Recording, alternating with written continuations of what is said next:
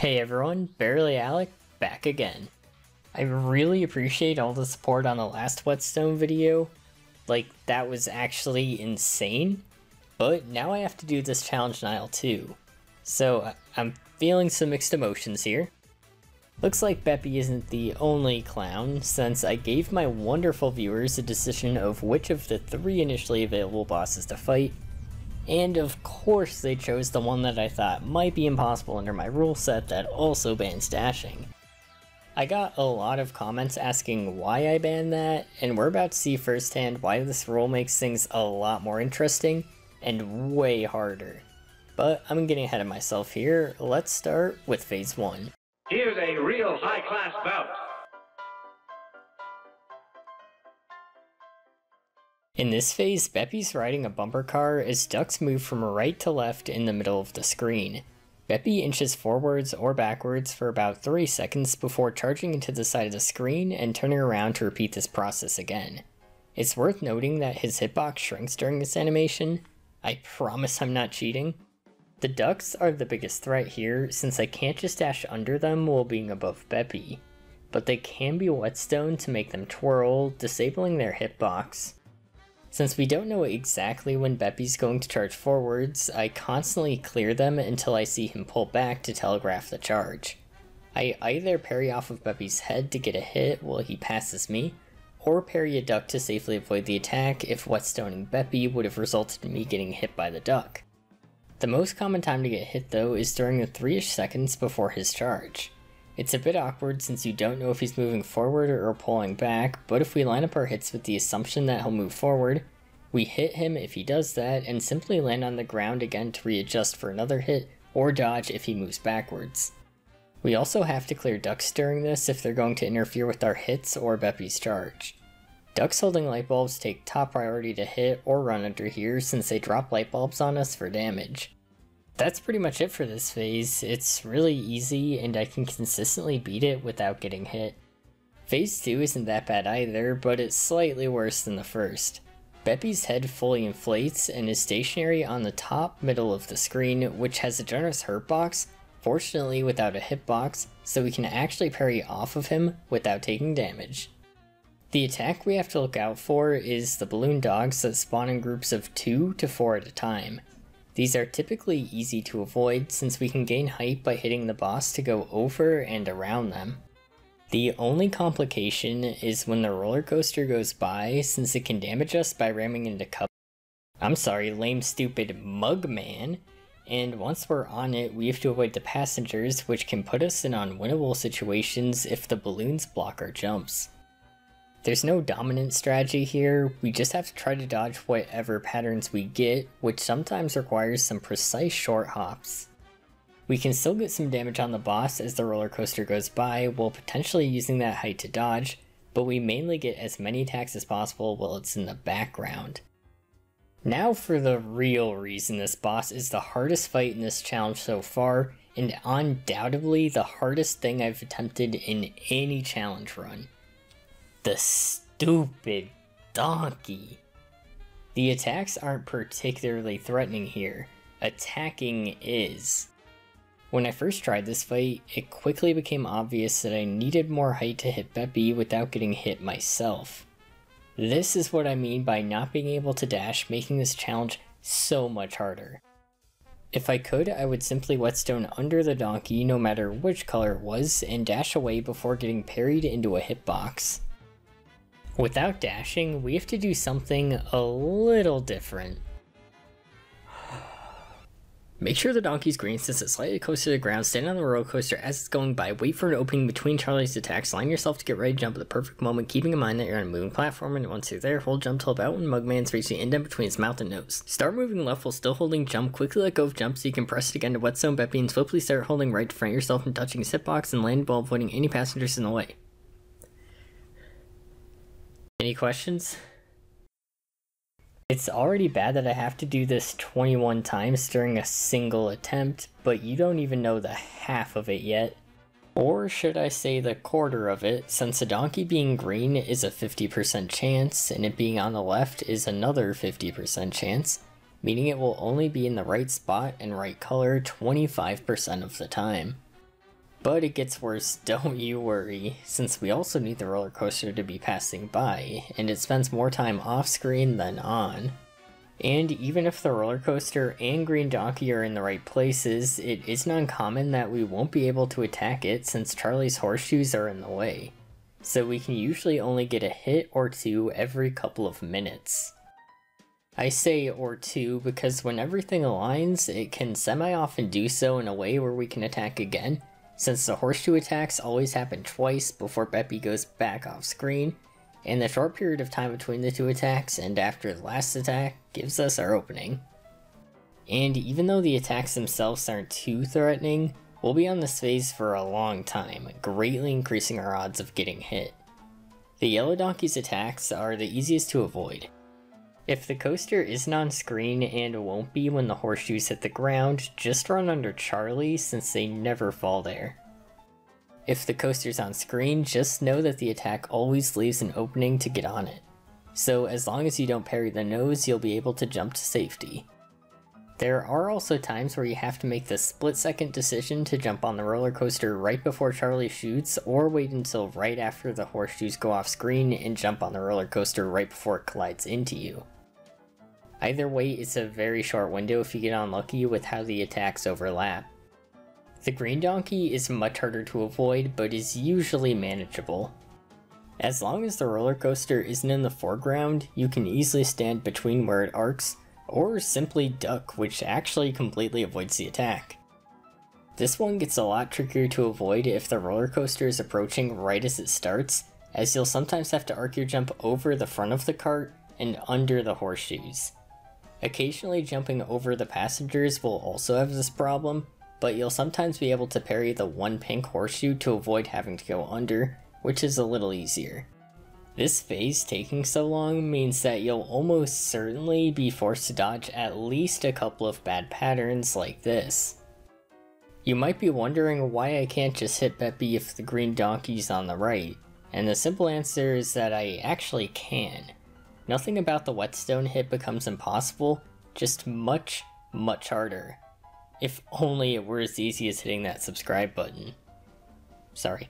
In order to hit him on the right, we have to be moving against the roller coaster, which might seem easier at first, since I can just use the visual cue from the background to always jump at the same time, since moving against the coaster is slower than standing still on it, giving me more reaction time than hitting on the left. But the big flaw with this strategy is that the passengers get more in the way, since I now have to constantly jump over them as I adjust the whetstone hit, but I don't have a lot of time to do that with Charlie attacking again. Even if I do get the hit, I'm more likely to land on a passenger since on the left side I would always be able to stand in front of a passenger cart before attacking Beppi to avoid them on my way down. Now's probably a good time to mention that the passengers are three carts apart from each other and there are three total carts with them on the roller coaster. There isn't much more to say about this phase. At first, I was lucky to get a single hit on Beppi without getting hit in return, then I would be able to get two or three, until eventually I would be able to get about 14 hits on the boss before dying, which was incredible progress that took hours and hours to achieve. Although some of those hits came from invincibility frames cut Mugman gets from messing up the hit or getting hit and taking damage on the way back down. While invincible, you can get two free hits on Beppi to give us a bit more room for error. And after even more hours and hours of practice, stream after stream, dead brain cell after dead brain cell. Yeah, I mean, I'm gonna try axing a clown in real life just to see how easy it is compared to the game, but we'll see. I finally got to phase 4, which I think speaks for itself.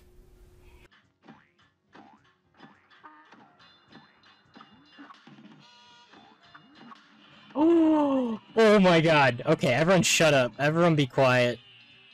Everybody stop talking. Oh! We're fine.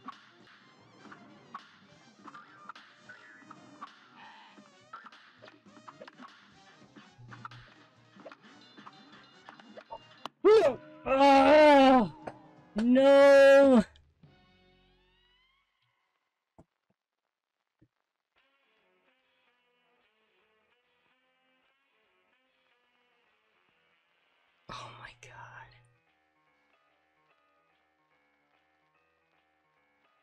There were so many close moments there. My heart races every time I watch that clip, but I guess we're not getting out of clown hell that easily. I really don't want to lose phase 4 after getting there again since it took over 30 hours to get a single attempt that far. And even though it's Beppi's second hardest phase for this challenge in my opinion, it's still overall a relatively easy phase if we consider some of the other bosses we've already fought as well. We need to hit Beppi 53 times here.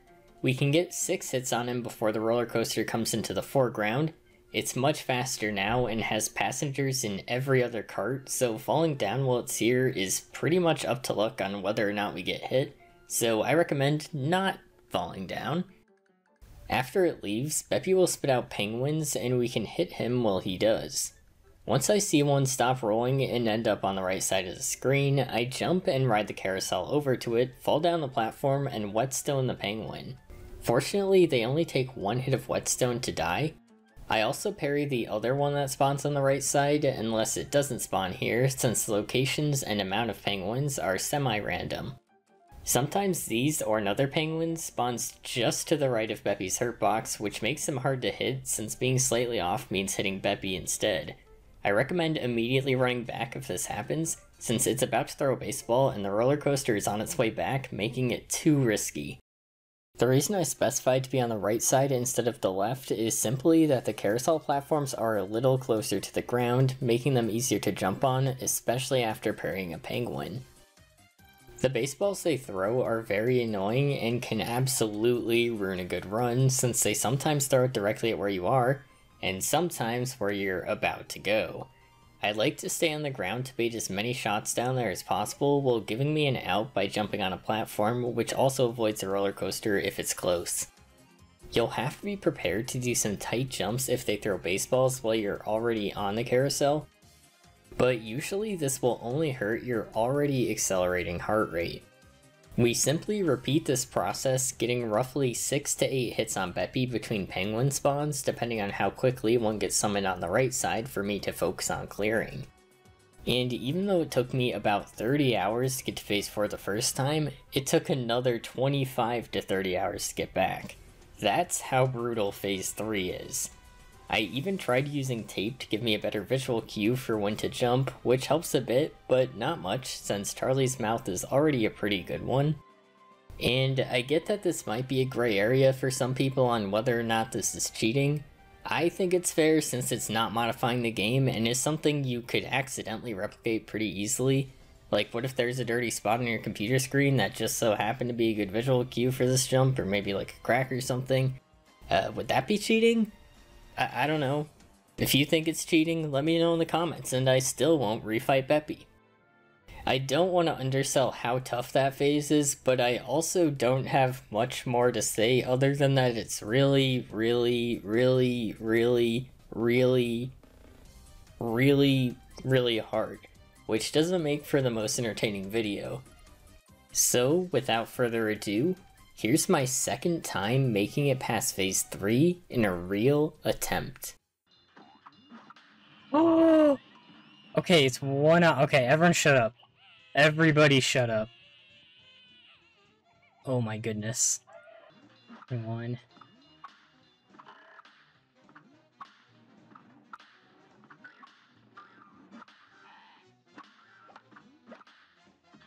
Twenty-eight. 29, 30.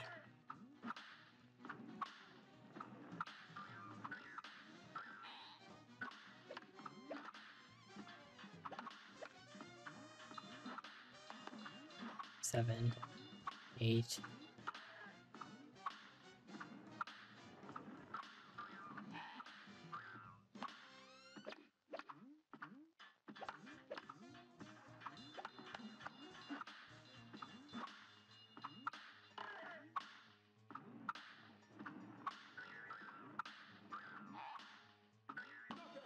We did Yes!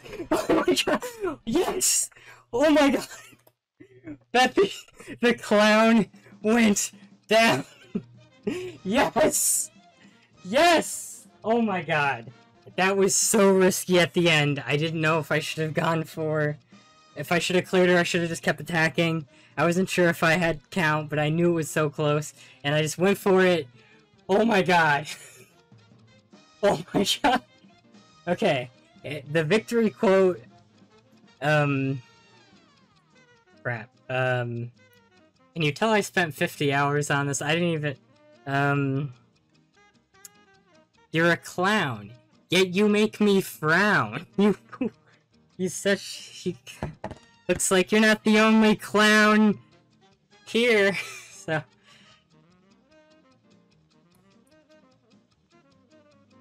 Can you believe it? That was my third try. Thank you so much for the 15, whatever those were. Oh, thank you so much for the $15. I said do it, take it. Thanks for, and Sagi for the 15 things, uh, for the effort. Thank, thank you so much. Uh, the clown is dead. I bet, I bet people feel pretty stupid right about now if they voted otherwise. Oh my gosh. 10 memberships? No, no, you madman! Thanks for watching. If you enjoyed the video, please consider subscribing so you don't miss the rest of the series. And if you like the format of the IL-1 video, don't worry, I'll be putting all IL-2 bosses together in a tier list, an intro, and more for the full release.